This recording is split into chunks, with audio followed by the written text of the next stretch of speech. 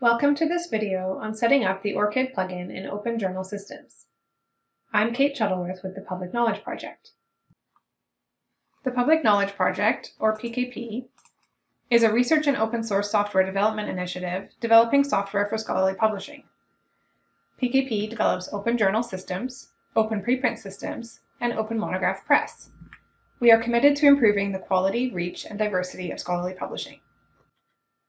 This video is for OJS administrators at ORCID member institutions, such as academic librarians, who are interested in enabling the ORCID plugin in OJS so that authors can connect their ORCID profile with their published research. This video will cover the following. We'll start with an introduction to ORCID and the ORCID plugin for OJS. Next, we'll look at the steps for applying for ORCID member API credentials. Finally, we'll cover the steps for enabling and setting up the ORCID plugin in OJS and inviting authors to connect their ORCID profile with their published work in a journal. Please note that this video will focus on open journal systems and how to set up and use the plugin in OJS. The plugin is also available in PKP's open preprint systems, and it works in much the same way as what you will see in this video. The video also discusses the Member API, which is available to ORCID member organizations. Journals from non-member organizations are invited to use the public API, which functions in a similar way. For more information, please visit the ORCID plugin guide in the PKP documentation. ORCID stands for Open Researcher and Contributor Identifier. It provides researchers with a persistent digital identifier, an ORCID ID, that they own and control, and that distinguishes them from every other researcher. Researchers can connect their ID with their professional information, affiliations, grants, publications, peer review, and more. They can use their ID to share their information with other systems, ensuring they get recognition for all their contributions, saving time and hassle, and reducing the risk of errors. For more information about ORCID, please visit orcid.org and watch the introductory ORCID video. Now that we know a bit about ORCID, let's look at the functionality of the ORCID plugin in OJS. The plugin allows journals to send an invitation to authors asking them to connect their ORCID record to their submission in OJS. From there, the plugin collects and authenticates the author's ORCID account by asking them to log in to an existing account or create a new ORCID account through the links provided. Once the author has connected their ORCID record with their article and published the article in an issue, their ORCID ID will display on the published article page with a link to their full ORCID record. Finally, thanks to the Member API, the published article details will automatically be added to the author or contributor's ORCID record page, so they don't need to log into ORCID and add the article details themselves. There's a few ways that journals will benefit if they choose to implement the ORCID plugin with the Member API. Journals can support their authors by giving them an easy way to connect their published research to their ORCID record. This gives authors a reliable collection of all their published work, which will remain accurate and consistent, regardless of changes in role, institution, or a change to their first or last name. In addition to supporting authors, integrating ORCID in your journals demonstrates a commitment to transparency and credibility by accurately attributing authors to their published works and authenticating articles through a trusted resource. This helps to demonstrate the legitimacy of a journal by allowing readers to check that published work actually belongs to that author, while easily verifying an author's complete CV and collection of other published works. In addition, ORCID implementation supports metadata collection and validation in services such as Crossref. Now that we know a bit about ORCID, the OJS plugin, and the benefits for journals, we'll go over the steps for registering for the member API and setting up the plugin in individual journals. The first step is to check to see that your institution is an ORCID member organization. You can visit orcid.org/members to see a full list of organizational members. You may need to connect with the ORCID contact at your institution since they will need to confirm with ORCID that they would like to use one of your organization's member API credentials for your OJS journals. If your institution is not a member but would like to be, you can visit the Learn More About Membership page on the ORCID website to request membership. The next two steps will help you to prepare to complete the application form for the Member API. When you complete the form, you'll be asked to include the name of your client application. This will appear as the publication source next to the article information on an author's ORCID record. So how do you select a client application name?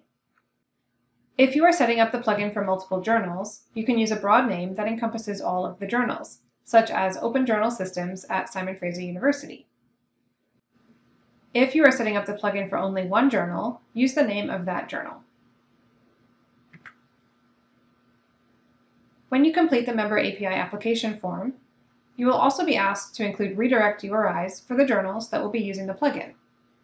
It's a good idea to consider now which journals will be using the plugin so that you are prepared to complete the form. You have two options for listing redirect URIs. You can register all of the journal's URIs separately, or you can register just the hostname for a collection of URIs. Let's look at those two options in more detail. If you choose to register all of the journal's URIs fully, you'll list the URI for every journal that will be using your institution's member API and setting up the ORCID plugin. So if you're a library publisher hosting the Journal of Science, the Journal of Art, and the Journal of Sports, you'll list each of these URIs in the application form. The second option is to register a hostname that is the root URI for all other journals that will use the plugin under your membership. So for example, if all of your institution's journals have a URI beginning with journals.universityxyz, registering that base URI will allow the plugin to work for all other examples listed here. journals.universityxyz slash journal of science, journal of art, and journal of sports. Let's look at another example. In OJS, sometimes journals are collected together under a single install, and they may share a base URI. For example, the SFU journals are hosted on a shared install under the URI journals.lib.sfu.ca. If you look at the URIs for these individual journals, you can see that they all begin with the same base URI, followed by the journal's name or initials at the end. If I want all of these journals on this shared install to have the ORCID plugin enabled with the member API key, I can register just the base URI instead of listing the URI for each journal in the install. When you're ready, you can visit the ORCID website to register your client application for the member API. As of February 2021, the ORCID profile plugin for OJS is certified, which means you can implement the plugin directly in your journals without going through the setup in a test environment first.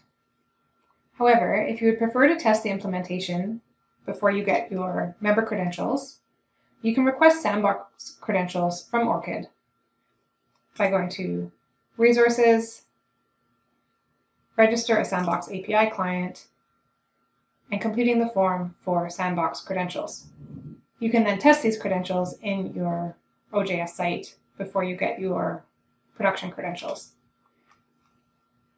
When you're ready to get your production credentials and set up the ORCID plugin in your OJS journals, you can go to Register a Production API Client. Let's take a look at how to complete the form. You'll include the name of your organization, some contact details, and the name of your client application. This was the piece we discussed earlier, which will appear as the publication source on an author's ORCID record. You can also include the base URI for your application, a short description of your client application. Here we've said journals hosted in Open Journal Systems at Simon Fraser University. And then you'll include your journal redirect URIs. These were the URIs we discussed earlier. You can include the individual URI for each journal, or the base URI if it applies to several journals that will be using the plugin. There are spots for five URIs, but you can include extras under the notes for ORCID staff if you have more than five. You can leave any additional notes for ORCID staff if you have more information you'd like to share about your application. And then you can submit the form. Once you've submitted the form, you will receive a Member API client ID and client secret via secure email. You'll be able to use these API credentials to set up the plugin in all of the journals for which you provided a URI in your application. Once you have received the member API credentials from ORCID, the next step is to inform your journal editors so they can let you know when they are ready to add the ORCID plugin to their journal. When a journal lets you know they are ready to enable the ORCID plugin, you can do the following. First, check that the journal is using OJS version 3.1.2 or higher, and arrange to upgrade the journal as necessary. You can find information about the OJS version in the Administration tab under System Information in your OJS site. When you're ready to enable and set up the plugin, you can visit Settings, Website, Plugins, and check under the installed plugins. The ORCID Profile plugin should be located here under Generic Plugins. Start by selecting the box under Enabled for the ORCID Profile plugin. You should get a notification that the plugin has been enabled. Next, click the blue arrow next to the plugin name and click Settings. Above ORCID API, you can select Member. For client ID, you can paste the client ID you should have received from ORCID in an email and then paste the client secret that you also received. You have the option here to select a box which will send an email to request ORCID authorization from authors when an article is accepted. So when the article is sent to copy editing, the system will automatically send an email to the author requesting that they connect their ORCID to the submission. When this is done, click OK. Now that the journal has the plugin enabled on their site, the journal editors can invite authors to connect their ORCID profile to their submission in the journal. There's a few options for authors to connect their ORCID profile in OJS. But first, let's briefly look at the difference between authors and contributors.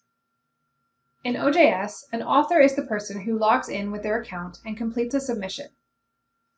Once an author has connected their OJS account to ORCID, it should automatically connect their ORCID record to future submissions they author in the journal. Contributors in OJS are co-authors. Since they don't log in with their account to submit to OJS, they will need to be invited to connect their ORCID for each submission they make in the journal. The first option is for authors to create or connect their ORCID ID when they register with the journal. When a user visits the Register page, they can click create or connect your ORCID ID, which will open a pop-up box, allowing them to enter existing ORCID details, or click register now to create a new ORCID profile if they don't already have one. The second option is for authors to connect their ORCID through their public profile in the OJS dashboard. The user can log in and click their username in the top right of the dashboard. Then click View Profile, Public. Then they'll see the option to create or connect your ORCID ID. And just as before, this will provide the pop-up option to either sign in or register. The third option is to send an email to authors inviting them to connect their ORCID profile to their submission in OJS. This can be done anytime a new contributor is added to a submission, either when a submission is created or when the submission details are edited in the Publication tab. You can also locate a contributor in the Publication tab and edit their details to send the invitation. Let's have a look at a submission that's currently in the copy editing stage. We can visit the Publication tab, click Contributors, and add a new contributor. As we fill in this contributor's details, we'll see the option to send an email to request ORCID authorization from this contributor. We can do the same with an existing contributor by clicking the blue arrow and clicking Edit, scrolling down and selecting the option to send the email to request ORCID authorization and clicking Save. Let's revisit what this will look like on a published article page.